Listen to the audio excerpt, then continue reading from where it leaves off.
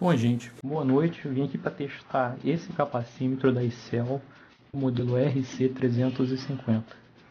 Eu separei aqui é, para vocês três capacitores. Infelizmente, eu não tenho capacitor de valor muito alto nem muito baixo.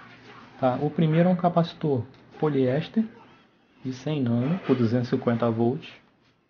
Temos um eletrolítico da Epicus de 2,2 micro por 50 volts e um outro capacitor eletrolítico da Epicus de 100 microfarads por 100 volts.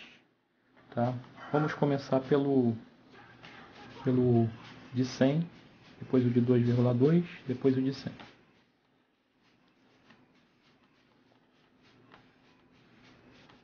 Vou ligar aqui, estou na escala de 100 nanos, tá? Vou ligar o equipamento equipamento já está zerado, senão tem que vir aqui ajustar o potenciômetro de zerar. Né? Capacitor poliéster não tem polaridade. Né? Então eu posso usar qualquer garra de qualquer lado.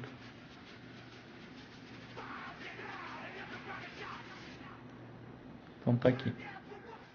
100.4 NF. Tem um NF aqui do lado. Não sei se vocês vão conseguir ver. Então esse aqui está muito preciso o valor dele, né? Praticamente perfeito, né? Vamos... E outra coisa, gente, é que eu já tinha feito aqui. Você não pode esquecer de descarregar o capacitor. Estou descarregando com a chave aqui. Não pode botar capacitor carregado, senão você queima o equipamento. Tá? Danifica o equipamento. E a garantia não cobre. Eletrolítico de 2,2 por 50 positivo no terminal maior, negativo no terminal menor, ou que tem indicação, porque já pode ter sido cortado. Né? Só que eu esqueci de botar na escala certa. Vamos subir a escala. Você tem que estar sempre uma escala acima do valor. Capacitor 2,2 não dá para medir na de 2 microfarads. Eu vou para de 20. Eu vou ligar. Já está zerado, tá? Tá dando 2 2.3. Ele é 2.2. Tá muito bom, né? Então eu vou soltar aqui.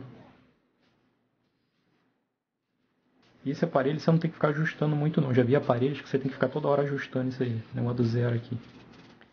Agora um capacitor de 100 microfarad. Eu vou subir para a escala de 200 até 200. O mais no terminal mais comprido. O menos no terminal mais curto. E esse é um capacitor de 100 micro.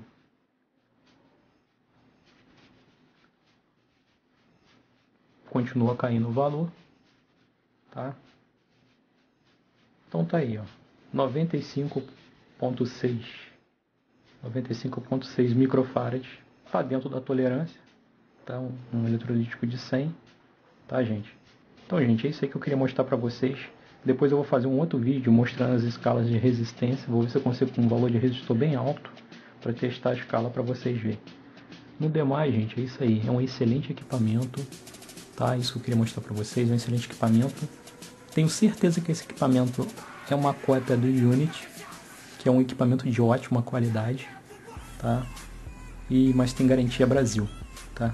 Apesar de eu achar que esse equipamento já está fora de linha que não tem no site da Excel. Mas é um excelente equipamento por um preço que eu comprei, tá? No demais é só isso aí, gente. Muito obrigado e até a próxima.